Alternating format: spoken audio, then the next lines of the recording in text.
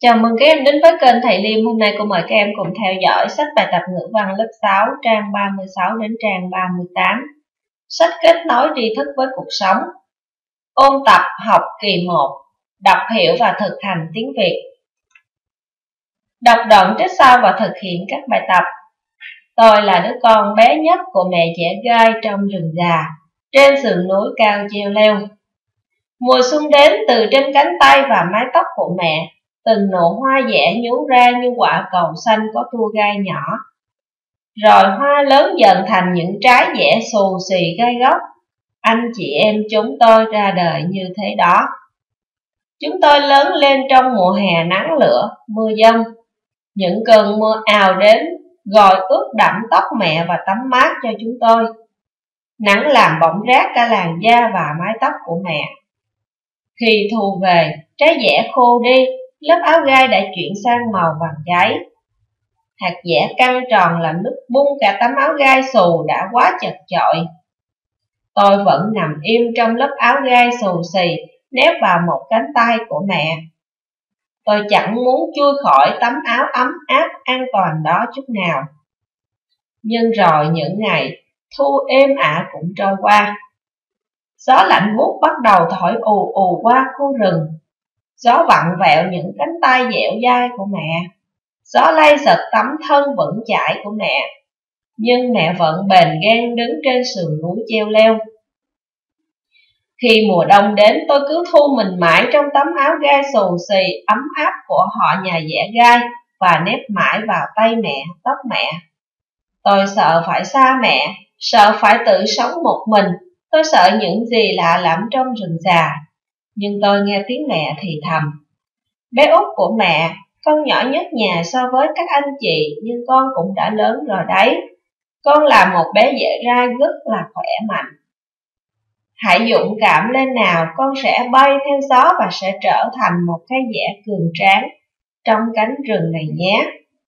Tôi cố quậy mình, tấm áo gai dày và ấm bất chợt vung ra và tôi nhìn rõ cả cánh rừng già Cả sườn núi cao, cả bầu trời mây gió lồng lộng ào ạt trôi trên đầu mẹ. Hóa ra tôi là trái dẻ cuối cùng đang nép trên cánh tay vương cao nhất của mẹ. Mẹ đưa tay theo chiều gió và thì thầm với riêng tôi. Tạm biệt con yêu quý, hạt dẻ bé bỏng nhất của mẹ. Dù thế nào con cũng sẽ lớn lên, hãy dũng cảm và đón nhận cuộc sống mới nhé. Tôi bỗng thấy mình bay nhẹ theo làn gió, tung mình vào khoảng không bao la rồi rơi im xuống thảm lá ấm sực của rừng già. Tạm biệt mẹ, con yêu mẹ, tôi gọi với theo gió trước khi chìm vào giấc ngủ đông ấm áp và tôi mơ. Theo Phương Thanh Trang, trích câu chuyện của hạt dĩa gai, tạp chí văn học và tuổi trẻ số 12, 465 năm 2020. Như vậy thì các em vừa đọc qua câu chuyện của hạt dẻ gai. Rồi bây giờ chúng ta sẽ cùng làm bài tập. Bài tập 1 chọn phương án trả lời đúng cho các câu hỏi sau. Câu 1 câu chuyện được kể bằng lời của nhân vật nào? A. Mẹ dẻ gai B. Một cây dẻ trong rừng già C. Một nhân vật trong câu chuyện D. Nhân vật tôi, đứa con bé nhất của mẹ dẻ gai Như vậy câu chuyện được kể bằng lời của nhân vật đó là là nhân vật tôi, đứa bé con nhất và đứa con bé nhất của mẹ dễ gai. Như vậy câu 1 em sẽ chọn là đáp án D. Rồi tiếp theo câu 2.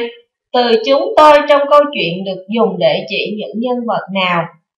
A. Mẹ hạt dễ gai và các anh chị em. B. Nhân vật tôi và các anh chị em.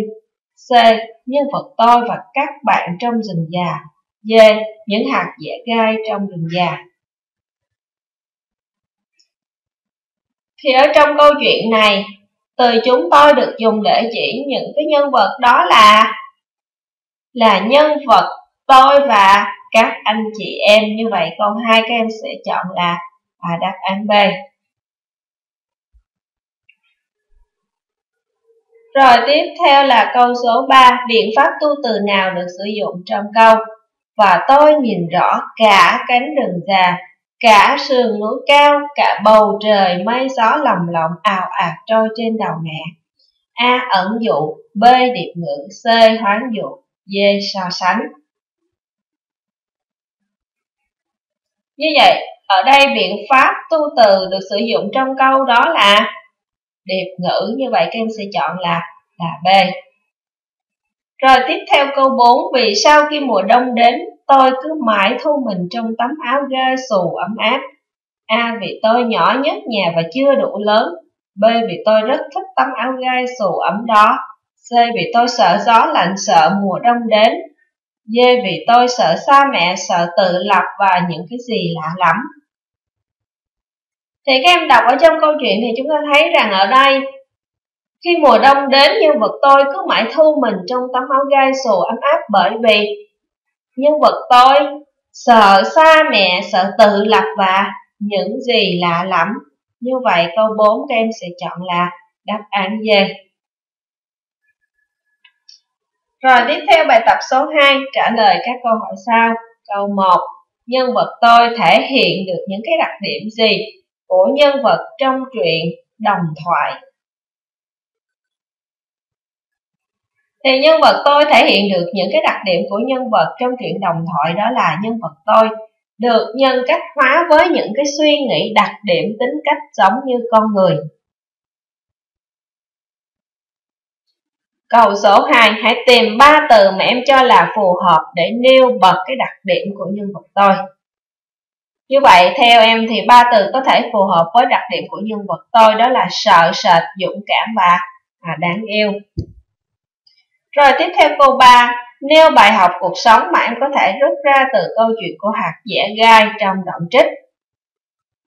Thì bài học cuộc sống ở đây đó là chúng ta phải biết dũng cảm đối mặt với những cái thử thách trong cuộc sống. Chúng ta sẽ nhận về những cái bài học bổ ích cho bản thân, những điều tốt đẹp.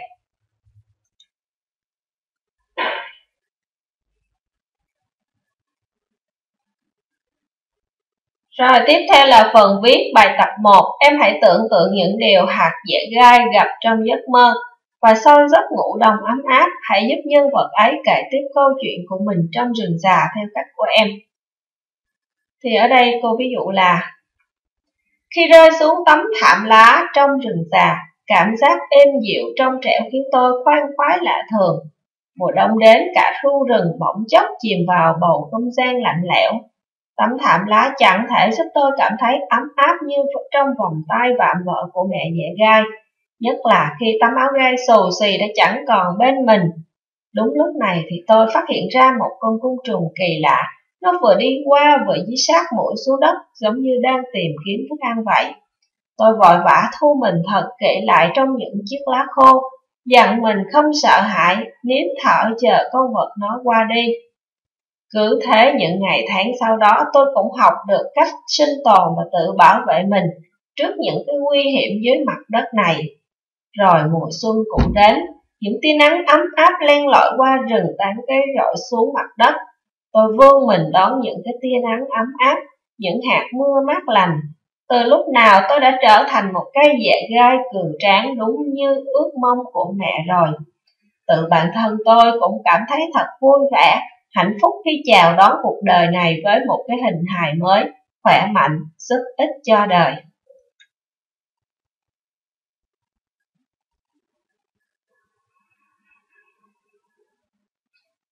Tiếp theo là bài tập 2, những cái trải nghiệm của nhân vật tôi ở trong đoạn trích có thể gợi liên tưởng đến điều gì trong cuộc sống của em. Hãy viết bài văn chia sẻ điều đó.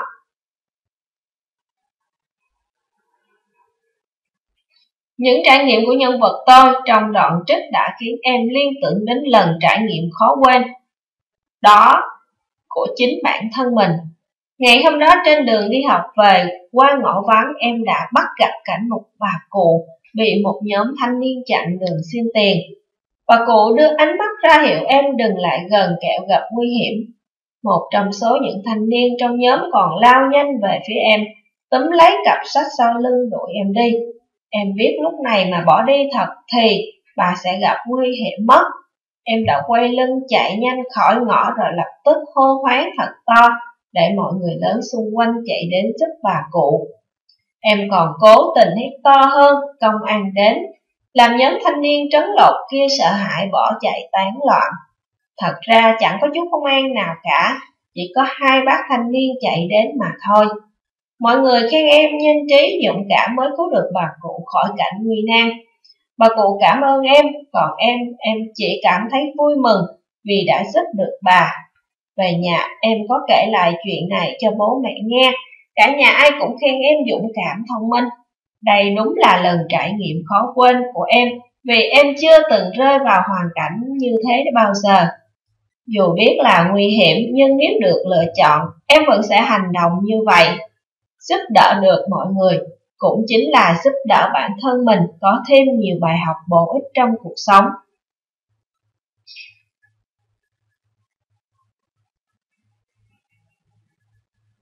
Tiếp theo là phần nói và nghe. Bài tập 1 thì trong cái vai hạt dẻ gai, em hãy tưởng tượng và kể lại những cái điều nhân vật gặp trong giấc mơ và sau giấc ngủ đông ấm áp. Và bài tập 2 là câu chuyện của hạt dẻ gai có gợi em lên liên tưởng đến những cái trải nghiệm của em. À, em hãy chia sẻ những cái trải nghiệm đó với mọi người. Thì cái bài viết chúng ta đã viết ở trên thì chúng ta sẽ nói lại à, bài viết ở bài tập 1 và bài tập 2 ở trên.